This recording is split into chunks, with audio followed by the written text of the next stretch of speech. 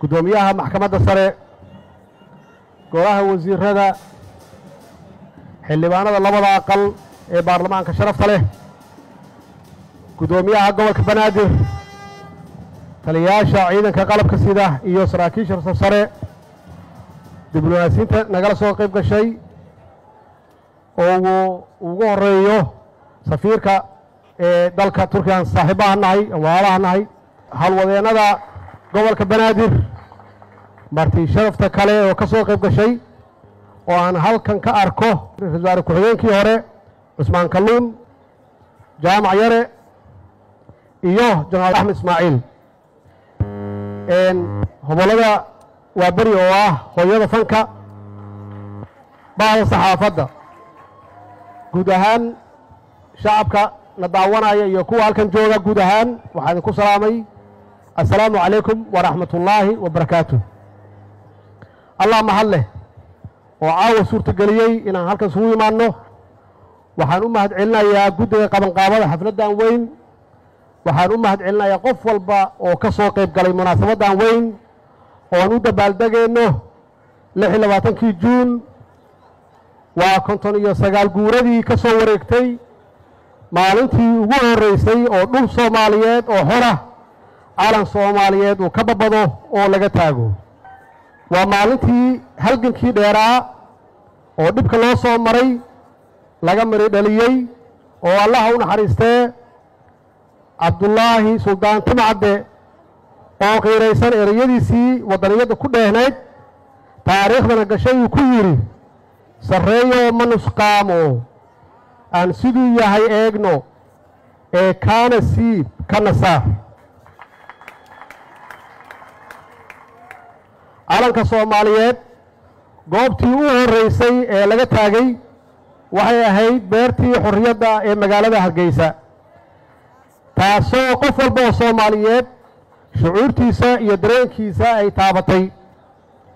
Halgankii halgankii gumays sidiidka iyo soomaalnimo wuxuu ahaa mid ka soo bilowday gobollada waqooyi inkastoo gobollada koonfureed naftigoodu ay aad ula dagaaleen talyaaniga waxaa hogaaminahay dhaqdhaqaaqaas waqooyi ka bilowday allaha u naxariistee sayid maxamed cabdulla xasan.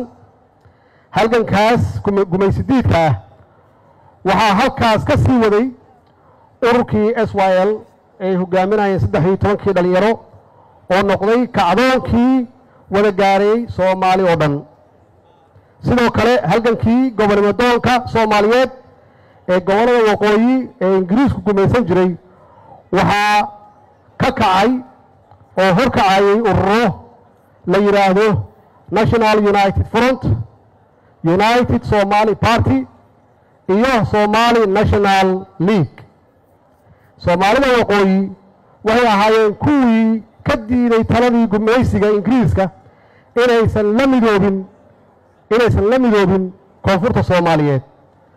Ayna diideen inay gooni istaagaan oo ay soomaali la lahaadaan dowlad dowlad qura waxay ahaayeen kuwii awooddoodu iyo halabuurkooda u isticmaalay baahinta iyo faafinta dareenka waddan waddaniyadda soomaali oo qura soomaali oo qab leh soomaali oo ku wada nool hal dowlad iyo hal calan.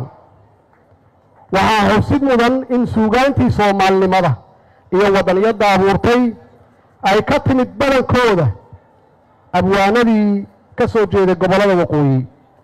Abwaanadaasi waxay waxay ku reebeen ummadda soomaaliyeed dareen waddaniyad iyo waddan jaceyl iyo ilaa maanta ay ku abuuran tahay dadka soomaaliyeed quluubtooda. Waxaa la soo maray duruufo adag oo aad iyo aad u adag oo lumiyey hankii iyo himiladii ummadda soomaaliyeed ku taaminaysay xilligii gobolnimadoonka la ahaa nasiib darro duruufahaas soomaali oo dhan ku dhacay ay keentay qabjab iyo in la quursado dadkeenna meel walba ay joogaan.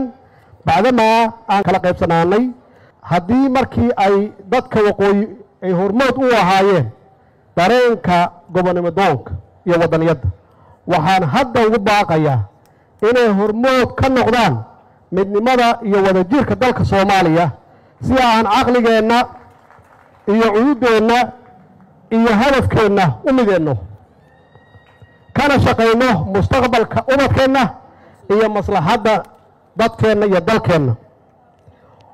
Waxaan ummadda soomaaliyeed u xaqiijinayaa in dowladdan ay ku hoolan tahay soo celinta sharafta iyo karaamada dadkeenna ee ay horey u lahaan jireen iyo buuxinta kaalintii soomaaliya ay ku lahayd beesha caalamka si taas loo horgeliyo soomaaliya waa inay noqoto dal nabada ku guulaysata midnimo kuna ta kuna tallaabsata horumar. Sidaas darteed midnimo wadajir iyo cududeenna aan isu geyno ayaan kaga gudbi karnaa tartanka ka socda adduunka ee ah dhanka horumarka ama siyaasadda iyo dhaqaalaha. Tartankaas cusub lama jaan qaadi karno. Haddii aynan u midoobin haddii ummaddayna ummadda soomaaliyeed aysan u midoobin awooddoodana aysan isu keenin. Si taas loo gaadho waxaan mar kale ugu baaqayaa amaan ku baaqayaa in wada hadallada soomaaliya iyo somalilan aan dardargelinno waxaan ku soconnaa muddo soddon sano ah hadda oo ummaddeenna ummadda soomaaliyeed uu wakhti badan ka lumay gaar ahaan dhallinyarada waxaa loo baahan yahay in runta la wajaho oo si walaaltinimo leh wada hadalkii hakadka galay halkiisii laga sii wado. La isxog waraysto la daaweeyo nabarradii laga dhaxlay duruufihii adkaa ee ina soo maray waxay dowladdu diyaar u tahay in la lafaguro oo miiska la soo dhigo wax kasta oo lagu kasban karo ama kalsooni lagu siin karo shacabka walaalaheenna ee somalilan oo looga bogsiin karo dareenkooda si wadajir ahna loogu sixi karo khaldaadkii ay keeneen marxaladihii aan soo marnay. Ummadda soomaaliyeed ma kala maaranto waxaan dhallinyarada leeyahay ayagaa iska leh mustaqbalka waa inay bilaabaan dood cilmiyeedyo lagu falanqeynayo mustaqbalka soomaaliya ee qarnigan koob labaatanaadka ah ee aan ku jirno iyo sidii aanu uga uga habsaannay caalamka intiisa kale. Maanta waxaan u dabaaldegaynaa waa sharaftii qiimihii qabkii dadkii gobollada waqooyi ee calankii ka taagay beertii xorriyadda ee hargeysa iyo dowladdii iyo midnimadii ummadda soomaaliyeed ee u keeneen inay noqoto ummadda jirta oo caalamka aanu ku leenahay sharaf.